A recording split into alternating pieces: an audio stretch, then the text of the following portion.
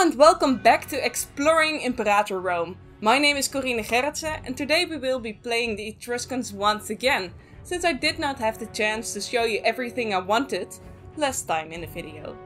Now we will be focusing more on religion this time, and especially some of the decisions and where they come from in this game. Secondly, I would like to show some nice little details in this game, for example the flag of Etruria and why that came to be. And thirdly, I would like to show you what the average fate of the Etruscans is. So sit back, relax and enjoy.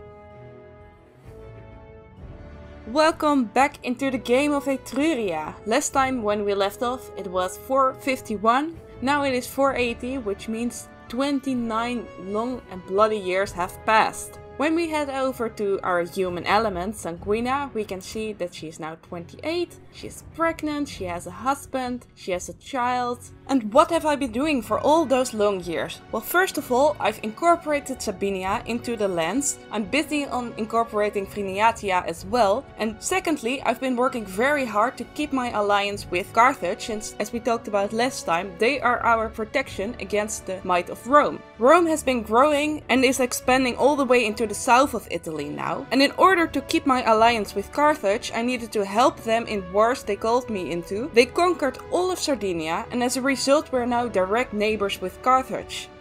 And at this point, I would really like to draw your attention to the religion tab. Here you can see all of the gods you can call upon in the Hellenic pantheon of Etruria. First of all, we have Apullu, the Hellenic deity of war, and he is the god of arts, light, and medicine. And if you think, wow, that name sounds kind of familiar, you're exactly right.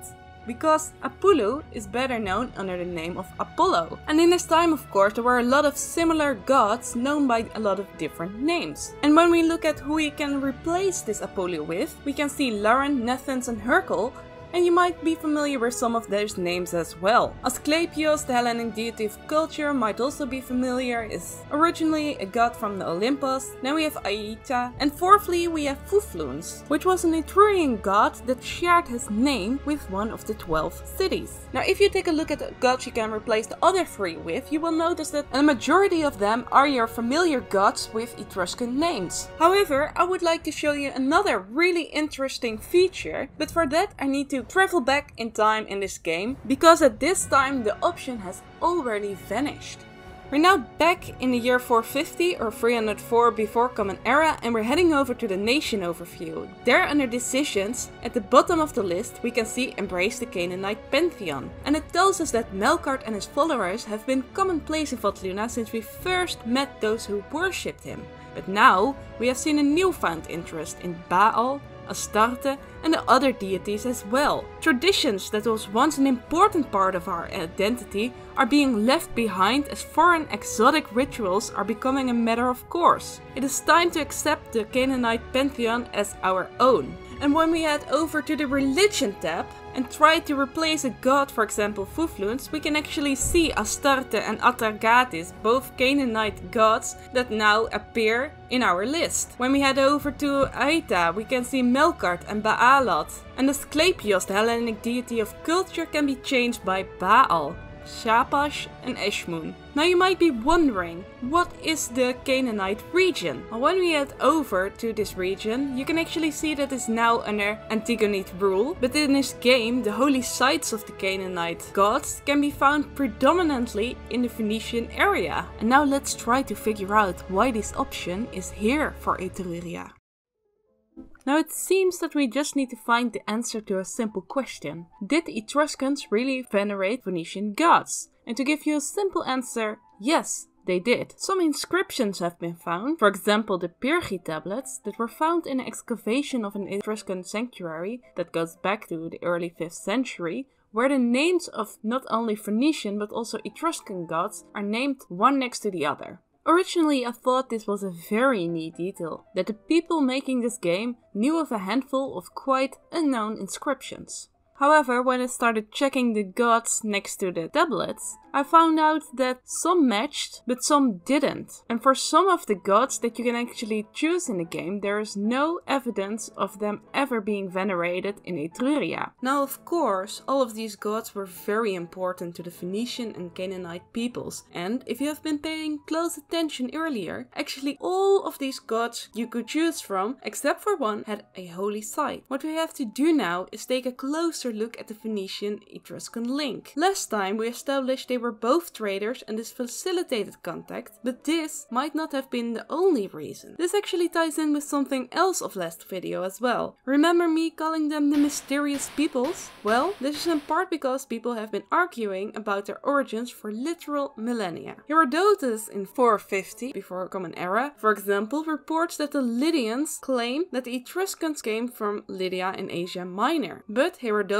already received criticism in antiquity. For example, Dionysius of Halicarnassos in the 1st century before Common Era stated, Indeed, those probably come nearest to the truth who declare that the nation migrated from nowhere else, but was native to the country, since it is found to be a very ancient nation and to agree with no other in its language or in its manner of living. Neither of these theories was completely accepted, and in the following centuries, debate continued to exist. The father of Etruscology, for example, believed that they were descended from the infamous Sea peoples, and they are also coined as the ancestor of the Phoenicians. In short, there were three possible origins indigenous, or they were from the north of the Alps, or they come from the east of Asia Minor. The consensus of the debate seemed to be going to the indigenous route, but this is far from unanimous. If you would like to know more about the Etruscan origin and the debates that have been going on for centuries, pick up the book The Etruscan World by Jean MacIntosh Turfa and Ashwini Tambe. Although this debate started to head this way, in a lot of popular books and websites that might be a bit less academic, the story of migrating Etruscans still seem to be a favorite. This could be an additional reason why the Etruscans and the Phoenicians are linked in the way they are in the game.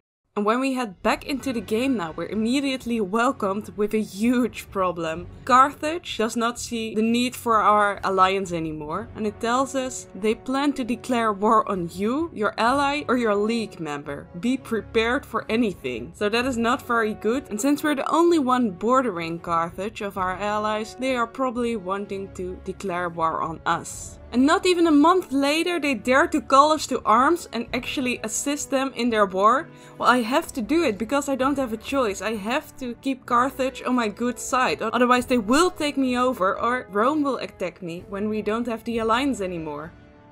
Well, we might as well want to try to take our mind off of things, and for that we can take a quick peek into the origins of the flag of Etruria. It is an interesting creature on the flag called the Chimera. Homer tells us that she was of divine stock, not of man. In the forepart a lion, in the hinder a serpent, and in the midst a goat, breathing forth in terrible wise the might of the blazing fire. It was a sibling of monsters as Kerberos and the Lernaean Hydra. Why did the Etruscans end up with the Chimera? Well, this statue is regarded as the best example of ancient Etruscan artwork, called the Chimera of Arezzo. So again, one element that we as modern day people regard as the best example of Etruscan artwork ends up in the game as the symbol for the Etruscans, while they might have not regarded this as as important as we do now. Now the Carthaginians actually broke their alliance with us, telling us very clearly they do not see a use for us anymore. Now I want to show you something about the average fate of Etruria, and for that I used the very nice observe mode of this game. And oh no, now they insulted us, telling us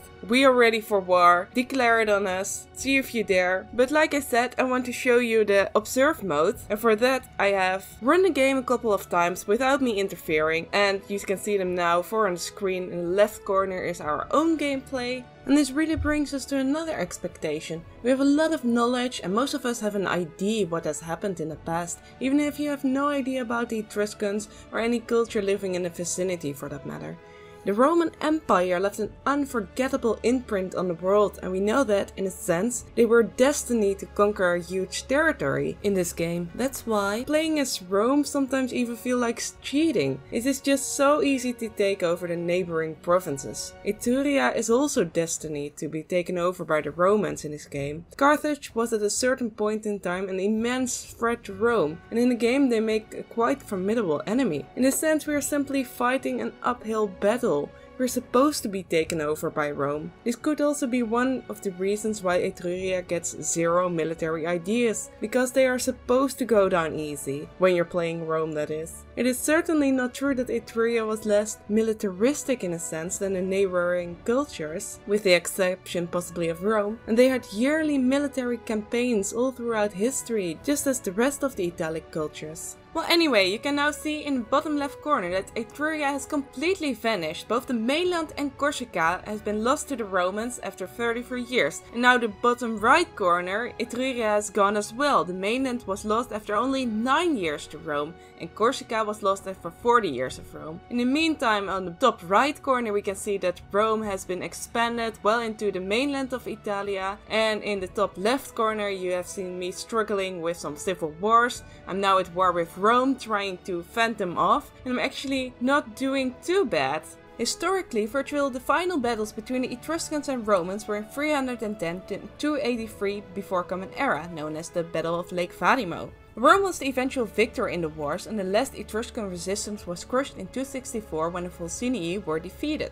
The Etruscans were assimilated into Roman culture, but the Etruscan language survived for another 300 years. You can see me fight two well now three wars and I'm completely in trouble because I do not have any allies anymore. I do not have enough manpower anymore. I managed to stop one war but now Carthage is on my case and it's really basically the end.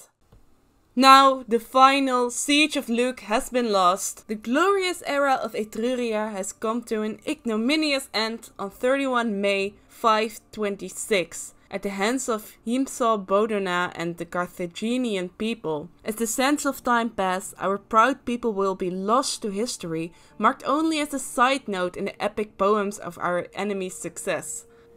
This is a really good point they're making. The Etruscans became, in fact, a side note to the Romans while they were so influential. And within 67 years, within the span of a single human life, because Sanguina was still alive when this happened, we have lost to the Carthaginians not to the Romans because I saw that danger coming a mile away. I lasted a little bit longer than the other games we observed in this video, but in the end I was unable to make Etruria the grand power that I wanted it to be. And as the observed games show, Etruria really doesn't stand much of a chance. And on that sad note, I want to Thank you all for watching and invite you to look at my next video in which we'll be looking at a different culture in Imperator Rome.